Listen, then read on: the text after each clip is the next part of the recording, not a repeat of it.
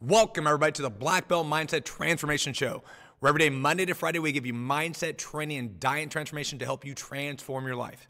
I'm your host, Jason Reed, and on today's show, we're going to get into training. Uh, we're going to have my son, fifth degree black belt, uh, world sparring champion, Spencer Reed. He's going to help us along with his training, what he does, and then kind of go through what I talked in the beginning about how to set up your training. So we're going to start off each and every day with our mindset first. So the first part, before we get into the planning, is we talk about sometimes about gratitude, growth, and giving. It's about gratitude. What are you truly thankful for today? Today it's snowing here in Lincoln, Nebraska. It's on a Tuesday, and we had uh, classes canceled yesterday. And today we're opening our classes up at the academy tonight. So we have about 15 minutes to shoot this video to help get our students up to their best level. But specifically planning. And so I'm just grateful that we have students ready to go. I'm uh, grateful also that we're not snowed in. We have power. Uh, back in 1998, I believe it was, we had a major snowstorm where we were locked in and lost all the power in Lincoln. So I'm thankful that we have power today. In a day like this, we're thankful we have heat. Uh, 100, 200 years ago, they didn't have the things we have now. So I am so thankful to have heat. Um, and so that's the question of the day. What are you thankful for? In the comments below, tell me one of the things that you're thankful in your life, whether it's your past, what you're thankful for right now, or something you could be thankful for in the future. You could also write, tell me a relationship in your life that's been important to you that's changed your life. So again, leave a note down in this description below. So um, before we get started here, we, yesterday's video, which you haven't, uh, if you haven't got to check it out, check it out. I think there's a link up over here to check out that video from yesterday. It's all about planning, how to plan your best week out. But if you haven't watched, I'm going to go through quickly on how to focus your training or the questions you should ask before you begin your planning training week. Now, a lot of people go, well, I need to do something. I go, well, that's better than nothing. But once you get started, you want to have specific goals and strategies and understand why you're doing what you're doing. If you just go willy nilly and go walk or lift weights without a real reason of what you're doing, you're going to get nowhere because you're not going to get the benefits of it and you're really not going to get the value you're looking from it. So, some questions to ask before you get started.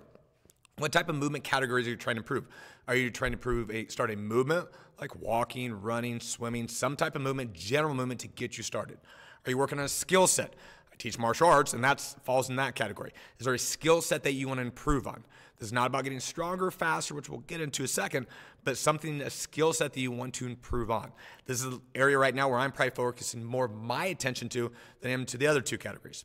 So you have movement first, then you have skill set. Third one is strength and power and speed. They all kind of go together, but getting stronger, getting more explosive, getting some way to get a better contraction of the muscle. Now, broad, that's kind of a broad category. To go even smaller in depth, you have strength, which is how heavy you can lift on something or how hard you can do. You have power, which is that with speed. And then you have speed, which is how fast you can accelerate into something. Again, these are three different aspects that are all important to keep improving. The fourth one is flexibility, mobility, and range of motion. This could fall underneath the yoga category or Tai Chi, something that effect. Those are four different things all this could be working on. What's the right thing for you? You have to decide what that is. For me, the movement drill, I don't do a lot of running, walking. I do what I normally do. So that's kind of a lower level for me. That might be not the right thing for you. Some of those youth in there like to run, who like to do exercise outside. Perfect for you guys. Skill set, that's my priority right now in my life at this time. What's yours? Um, I also want to keep improving my strength and flexibility and my speed and power. So I'm going to keep working on those things. At the same time, I'm going to involve martial arts training every single day for me without overdoing it. I found that consistency for martial arts and skill sets is more important than just doing it every other day. Now, I add strength and power and flexibility into this. So I stretch every day, twice a day. This is what I do. And then I have a strength based thing where I do a push, a pull, and a leg every three days. So that's what I do with my week. Now, before we begin, you have to figure out what is your highest priority of those? Can you work all these in? Should you work one of these in? Again, I'm not trying to overthink you, but what's going to give you the biggest bang for the buck? If you're going to spend 30 minutes each day or an hour each day, what do you want to spend time doing? I'd want to spend some time that gets you the real benefits of what you're really looking for. Um, the second thing you want to look at, besides those questions, is what's most important to you. Now, at different times in my life, there's been different things that's been more important. For many people who start training, it's how do I look? How do I look in a swimsuit, getting ready for a wedding? How do I look on that type of thing? As you get older, you care a little bit less about that. Um, how you feel, and then how you perform. How I feel right now is my highest priority each day. At 48 years old, I want to feel good each day and feel like I can do the things I want to do. But I still want to keep my performance improving. So for me at my age, performance and how I feel matters far more than how I look. And so, again, you have to ask yourself, what is the most important thing for you at your age, at your life right now? And then the last part is what event, what cycle you're at, and what stage you're at. That will help you decide how you work each week. So that's my strategy to kind of get you started. What I'm going to do right now is I'm going to introduce my son here. He's fifth degree world Tiger Rock sparring champion, Mr. Spencer Reed. Let's welcome him in here. Hello, hello. So uh, we just got done talking. I know you probably listened a little bit here about what the ideas and training to focus on. Um, but just if you wouldn't mind, maybe give like two minutes of what training is like growing up. One, having it with a dad who teaches martial arts, but just what got you into it, what got you started, and then like get us up till right now and make two or three minutes or so. Thankfully, I've had a really weird journey in my training. I've probably dabbled in just about everything. Um, I had an innate desire as a kid for a lot of just like specific things. Like growing up, probably my first real training advice was um, looking better. I didn't like how much I how much belly I had at the time, and it was honestly like fourth grade when I came to my dad with that. And I'd already been doing taekwondo for a while, but it wasn't. I mean, you're in you're in elementary school. You're not like trying to be the world's best spar or anything at that point in time. So um, that was the first time where I really had like an interest in anything that I was training for. I was just uh, before that just training to train, but then you kind of figure out your first thing that you're excited to get better at. And so we did I think four or five days a week. There were like an hour. We would just be in the basement. You'd watch football and you'd tell me what to do, and then I'd be sweating buckets by the end of the workout and it'd just be a lot of running up and down stairs kettlebell swings push-ups you're just your basic stuff but i mean also at the big point of it is doing something is better than doing nothing. So even though we had just a basement and stairs, we still got really hard workouts in. And I think that's a big point is that doing something is better than doing nothing, even if it's not complete. And that's the big thing with me right now is um, I've gone through a lot of different types of training, but I'm kind of at the point in my life where most of my training has been performance based, but now I'm kind of at the point where I need to make sure I'm taking care of my body just as well. So lately, my biggest training has been towards joint mobility and strength. So being able to kind of handle the pressures of the performance that I want to do. You're you can deadlift 500 pounds, but that doesn't mean your body is able to handle that much weight just because your muscles can. So I've been hitting performance for a long time. I did track and field, really hard on my knees. I've done football, that was hard on everything. Taekwondo's been hard on everything.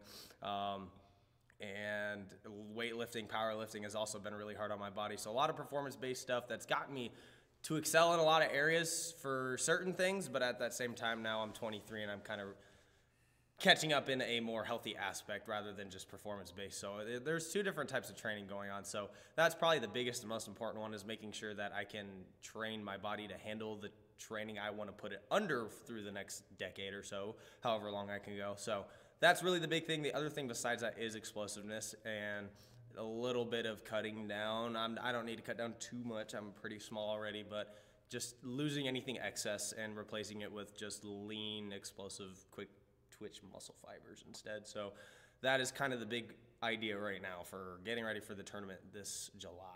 Maybe March. So, kind of talking specifically, I love what you said. That gives everybody kind of an idea of where you're at. Um, specific events you have coming up. So you talked about March coming up. That's uh, pre-evaluation. So there's some conditioning and there's a tournament involved there. Yep.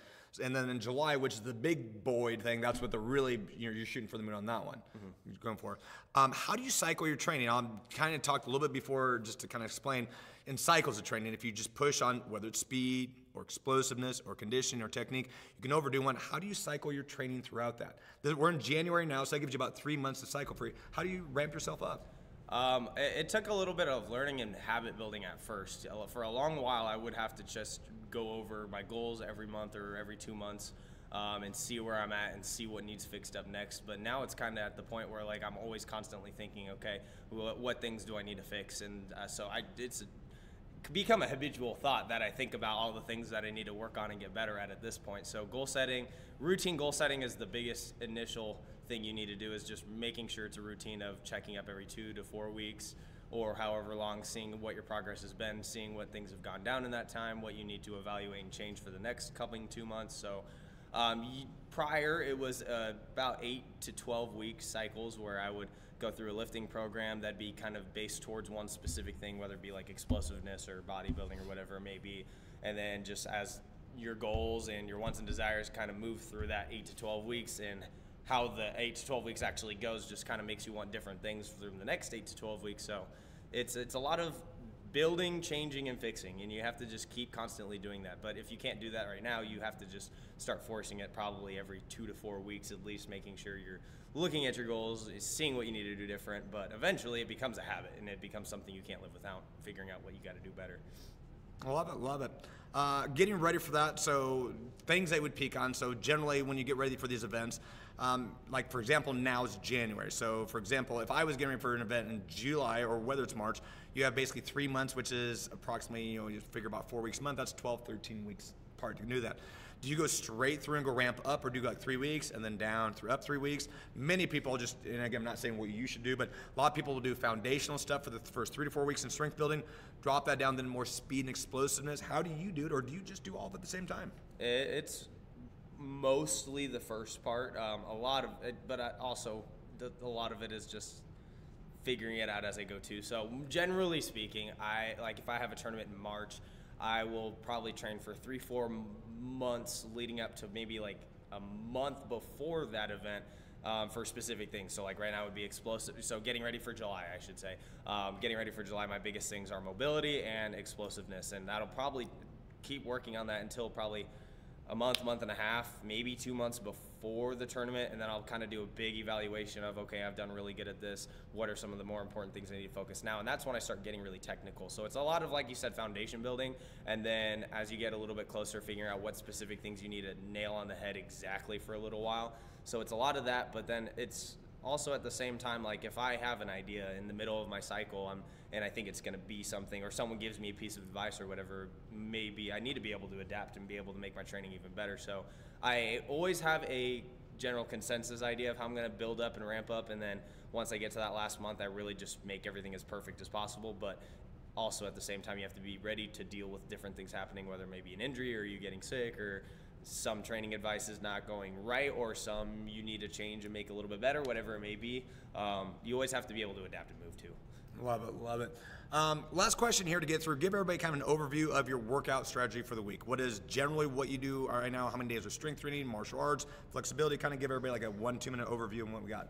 On a perfect week where I'm feeling good and I can make everything happen, life obviously gets in the way sometimes, but perfect week is four lifting sessions a week, uh, four to five, five if you're going crazy. Um, but I also like to go crazy on my taekwondo right now, and like I said, the mobility and explosiveness is a little bit more important to me. So I've taken it from five, six days down to four days, so that way I can fit more taekwondo training and more personal mobility training in as well too. So generally four lifting days a week, three to about three classes a week, top classes at the academy, and then usually two more, maybe three more taekwondo personal workouts on my own um, stretching and going through range of motions every single day, um, whether it's a lot or whether I only get to do a couple things. Like I said before, something is better than nothing. So with a busy life, you kind of just have to make whatever happen happen. So if I get done with a taekwondo class and I haven't done any stretching that day, I kind of have to force it in then.